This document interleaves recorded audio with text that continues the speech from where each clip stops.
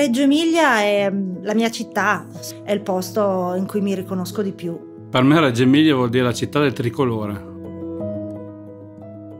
In questi dieci anni non è stata ferma, abbiamo ottenuto ottimi risultati riqualificando la città. Ho percepito una crescita esponenziale, ho visto anche l'insediarsi di molte aziende.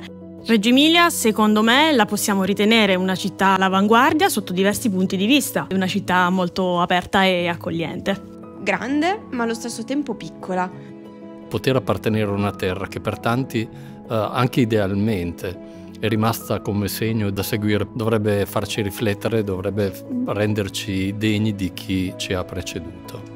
Deve essere una città fondata sul rispetto, sull'uguaglianza, sulla libertà e sull'accoglienza.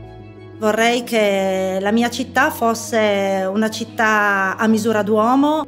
Reggio Emilia per me è una città sostenibile perché è facile muoversi in bicicletta, ci sono tanti progetti per eh, fare in modo che questi spazi per i cittadini siano curati e vivibili.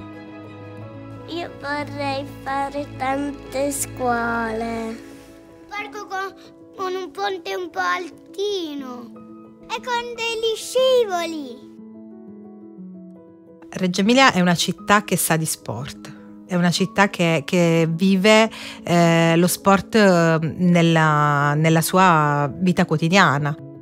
Una città fatta di grandi opportunità dove la gente, soprattutto le persone disabili, possono essere più libere è un grande onore lavorare presso l'ospedale, il centro di ricerca di Reggio Emilia. È sicuramente una città molto ricca anche dal punto di vista della sanità.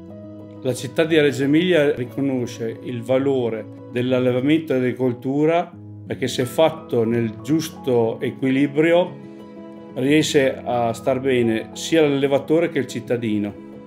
Reggio Emilia è la mia casa. Per me la casa è un luogo sacro, un luogo che deve essere ospitale, accogliente, pulito, un luogo che va curato da tutti, sia da chi lo sente suo come me, sia da chi invece si sente di passaggio. Il futuro sarebbe pieno di negozi, pieno di attività dove ci si trova, dove, dove c'è l'incro- l'incrociarsi delle persone.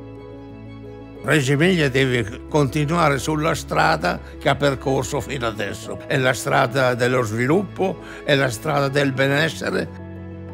Mi immagino una città in cui i giovani prendono in mano la palla, perché senza giovani non c'è futuro.